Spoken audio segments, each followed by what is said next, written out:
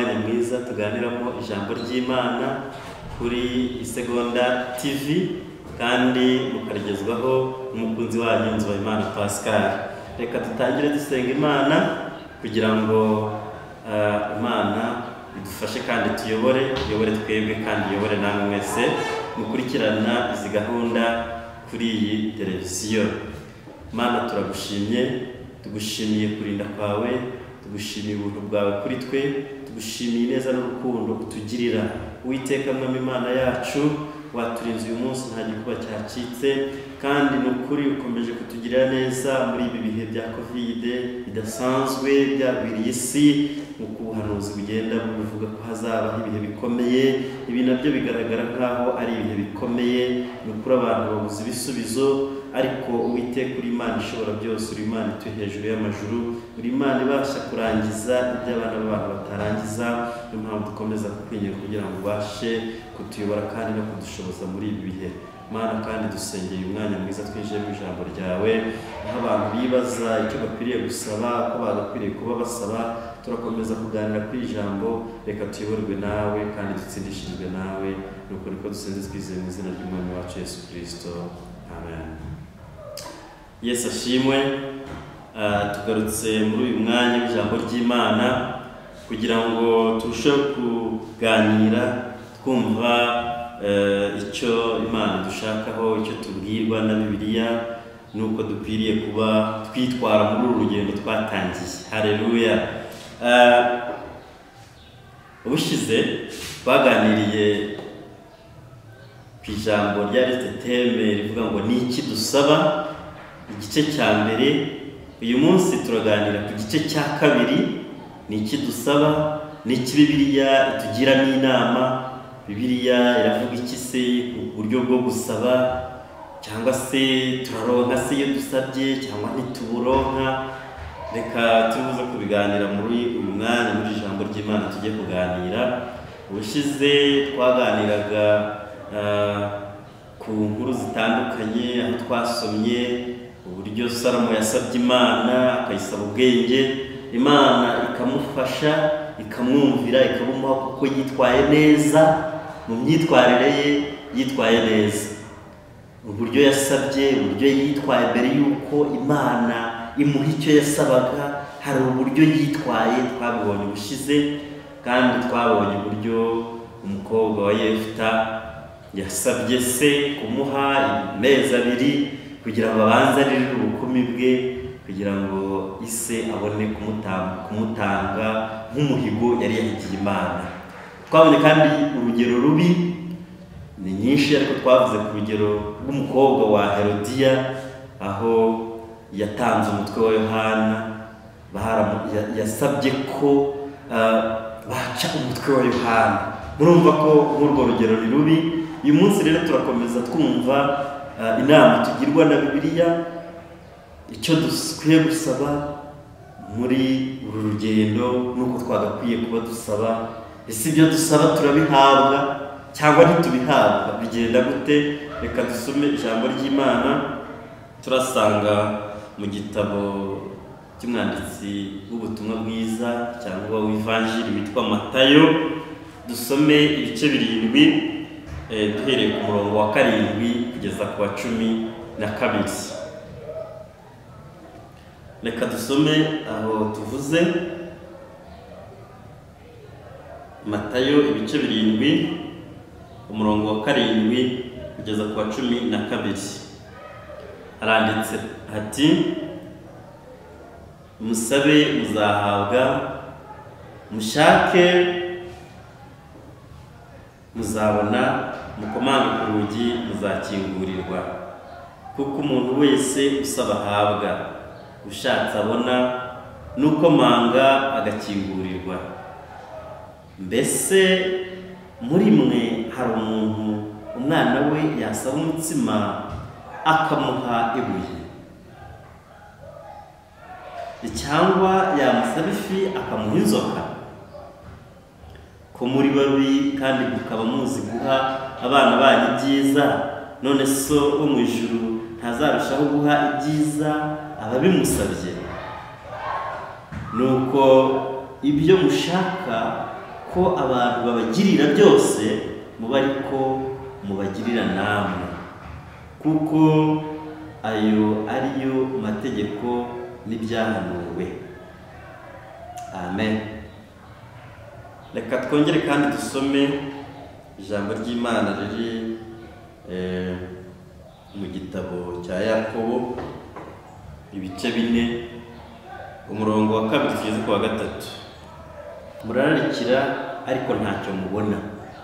Murica kandi mugira ishyari. Ariko ntimushobora kunguka. Muratabara mukarwana nyamara ntimuhabwa kuko mudasaba. Murasaba ntimuhabwe kuko musaba nabi. Mushaka kubyarisha irari ryanyu ribi. Nimwakire neza ijambo ry'imana. Aleluya turashima imana kubw'uyu mwanya mwiza eh, wo kuganira ijambo ry'imana kuri iyi televiziyo.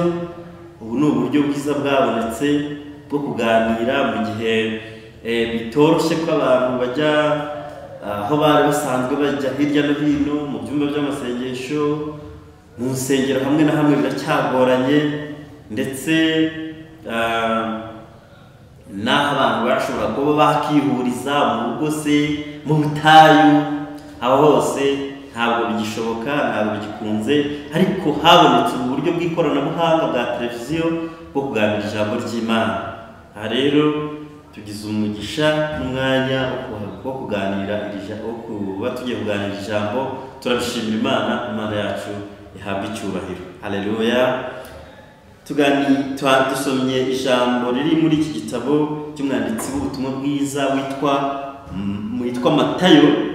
Matayo eh, cyangwa se witwa lewi umusoresha eh, wanditse ubutumwa bwiza akabwandikira muri yerusalemu.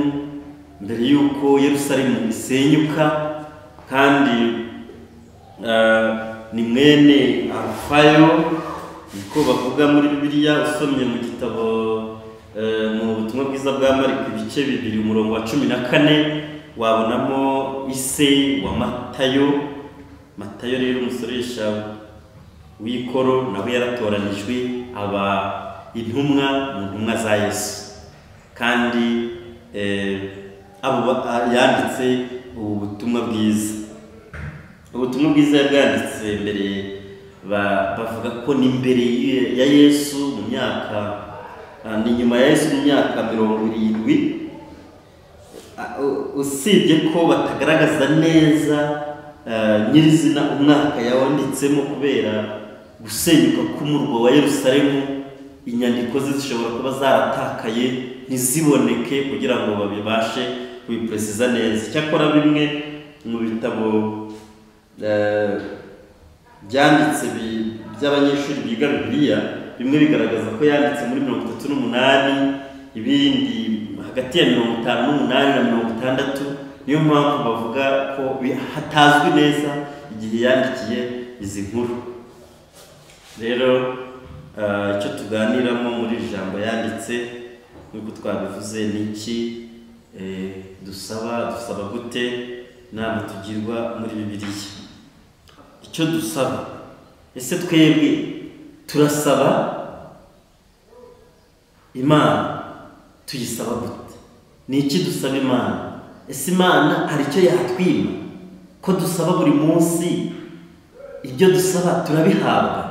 Ariko se bibiliya iravuga iki? Bibiliya iravuga ngo musabe muzahabwa. Mukomange muzakingurirwa aleluya ariko se mu by'ukuri abantu ugerageje gukora interview kuganira n'abantu ukabaza ngo ibyo musaba murabihabwa? Benshi ahari bakubwira ko batabihabwa. Ariko bibiliya twasomye no muri yakobo itwereka ko dusaba ntiduhabwe kuko akenshi dusaba bigendanye n'irari ryacu. Ntabwo dusaba nk'uko eh, imana ishaka ko twakabaye dusaba niba tuzi gutanga ibyiza tuzi guha abana bacu ibyiza tuzi kuba twagirira abantu bagenzi bacu neza mukeka ko imana ariyo yananirwa kutugirira neza. Uburyo twitwara dusaba ni bwo butuma ibyo dusaba bitabasha hari kutugeraho. Ntabwo tunyurwa ntabwo tunezerwa ntabwo uburyo dusabamo buba buri kuri gahunda. Kuko twebwe dusaba mu irari ryacu. Dusaba bitandukanye n'uko twakabaye dusaba. Ugasanga umuntu avuga ati mana wampaye inzu wampaye akazi wampaye umugore wampaye umugabo wampaye imodoka ugasanga gusaba kwacu ni uko nguko ariko twakabaye tubanza kunyurwa. Usanga abantu benshi bababaye bavuga ngo agahinda ugasanga agahinda karabishe ugasanga bafite ibibazo bitandukanye. Ariko ni uko birengagiza icyiza imana yagiye ikora. Buri muntu wese yisuzumye akirebaho yasanga hari ibyo imana yagiye imukorera. Bityo yamara gutekereza ibyo imana yagiye imukorera bikamutera gutekereza ko n'ibindi yifuza cyangwa ashaka azabibona. Hareruya bityo rero gusaba kwacu ntabwo tugushyiraho umwete ntabwo tugushyiraho umutima ahubwo turakuvangavanga tugakora ibitandukanye n'ibyo dukora. Ibyo dusabye uyu munsi si ibyo dusaba ejo. Imyitwarire yacu ni ibyaha ni amarari turabivangavanga ugasanga gusaba kwacu kuratandukira ntabwo guhura neza n'icyo twari twifuza. Icyo usabye uyu munsi si icyo usaba ejo. Niba niyo ari cyo usabye ejo ntabwo ugisaba ukiranuka. Ntabwo ugisaba uguma mu mwanya ntabwo ugisaba ugishyizeho umutima. Ahubwo kandi n'icyo ushyizeho umutima ntabwo ari cyo cyiza imana ikuremeye. Bibiliya iravuga ngo bibiliya iravuga ngo ese ibyo yifuza kutugirira ngizi ibyo yifuza kutugirira? Iravuga ngo izi ibyo yifuza kutugirira. Ni ibyiza ntabwo ari ibibi. Ngo kugira ngo iturememo umutima w'ibizaza byari hanyuma. Hareruya ntabwo rero imana yaduha ibituma tugwa nabi ahubwo iduha ibidukwiriye kandi bitubereye. Hareruya Yesu ashimwe. Twasomye muri kiriya gitabo cya yakobo kitubwira ko dusaba ntiduhabwe. Hareruya kuko dusaba nabi. Kuba dusaba nabi rero tugasaba ibigendanye n'irari ryacu niyo mpamvu tudahabwa. Rero hari icyo dusabwa? Kugira ngo ibyo dusaba tubihabwe. Turasaba gusaba ibigendanye n'ikimana idushakaho kandi byabasha kutugirira umumaro. Bikagirira n'abandi umumaro. Kandi bikazatuma tubona imana. None niba umuntu asaba ibitazatuma abona imana ibidafite aho bihuriye no gushaka kw'imana ibi byatuma abasha yabona agatandukana n'ubwiza bw'imana. Niba yajyaga mu rusengero ntajyeyo niba yakoraga ibyiza ntakibikora kubera ko ari mu nyungu ze ari mu bitandukanye n'uko imana imushakaho imana yabimuha ngo bimumarire iki? Dusaba nabi. Niyo mpamvu tudahabwa. Mureke twige gusaba neza ni bwo tuzaba tubasha gukora ugushaka kw'imana kandi tugahabwa ibyo dusaba. Rero namwe mbifurije kunyurwa n'aho muri kandi mukarushaho kumenya neza icyo mukwiriye kuba musaba mu gihe cyose muri imbere y'imana kuruta uko mwasaba ibidafite umumaro birangira bikayonga ahubwo icyiza ni uko abantu bakifuza bagasaba ubugingo kandi bakabona amahoro bakayabona muri bagenzi babo ni cyo twabasaba kandi namwe akaba ari cyo mwifuza ibihe byose. Murakoze yari umukunzi wanyu uganira namwe ijambo ry'imana.